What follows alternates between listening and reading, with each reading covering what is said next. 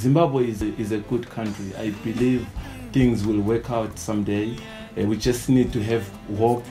Uh, thank you so much for, to everyone uh, who put this project together.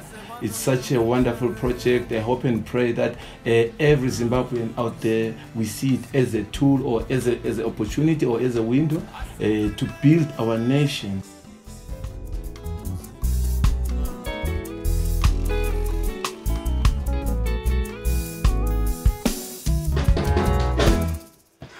Muriziso paninofamba muriziso pandisiri.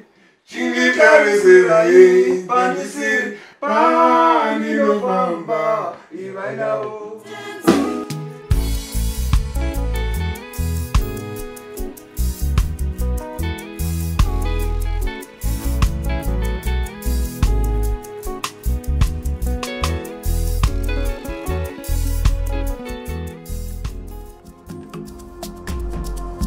Hope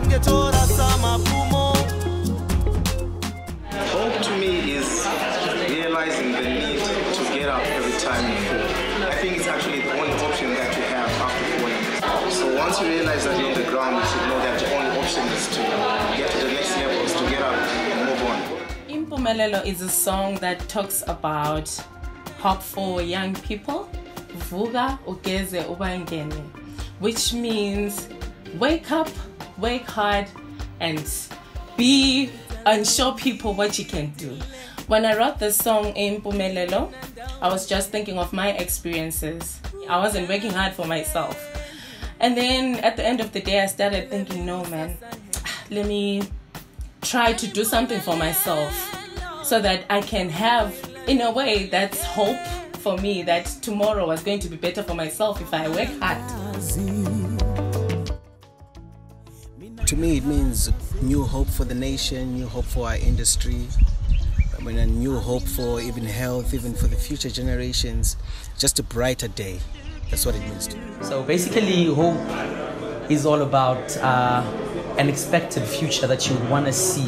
So Sizongoba is uh, a song trying to give people assurance, trying to give the people of Zimbabwe assurance that eventually one day we're going to be victorious. Giving up, it's a new day. Hi everyone, my name is Tammy and uh, I'm so honored and happy to be part of Project Hope and on the project I did four tracks which are titled Wega, New Day, Ishe and Hold On and uh, it was an exciting experience for me, a very personal experience as well. Um, I got to share my truth in those songs. What are the songs talking about? So basically, all four songs are about the battle of life every day, emotionally, physically, spiritually, financially, however you may relate to the situation.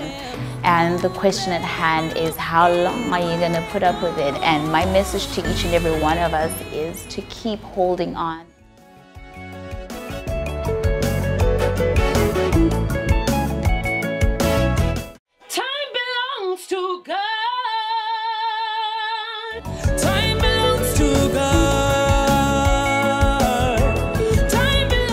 I'm doing a song called Time. Um, this song is painting a picture of hope. I just want to say to you as a nation, even the things that we're going through, know that there is time for everything. God is going to come through for us. God bless you.